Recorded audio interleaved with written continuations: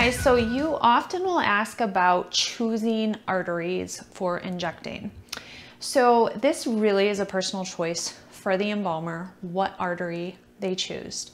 When I learned to embalm, I learned from someone who had been taught and who forever used the axillary, which is the one that's right in your bicep.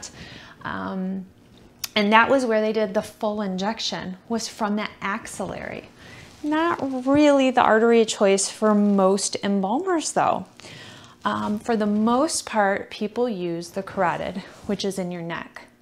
However, I do know a good number who will inject from the femoral, which is down right outside your groin in your leg, and that's where they'll inject from.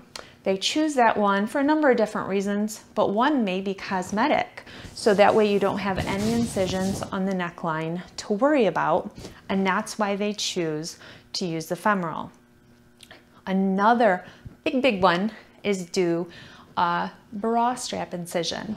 That means rather than right here, you're going to cut in out here where the bra strap is. From there, you get to the subclavian artery. This means you're going to be able to inject out into the arm better, up better, into other areas. You get bigger dispersion and it's also cosmetically, the incision is going to be out to the side more.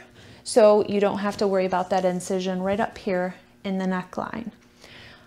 However, no matter which artery you choose to inject from, you may run into poor dispersion and may have to raise more than one injecting point, like a radial in your wrist or somewhere else. So artery choice is completely up to the embalmer. Usually what they learned while they were an apprentice and who they embalm with to become maybe later their artery of choice. So ask the next embalmer you meet what artery they like to inject from because you may get a variety of different answers.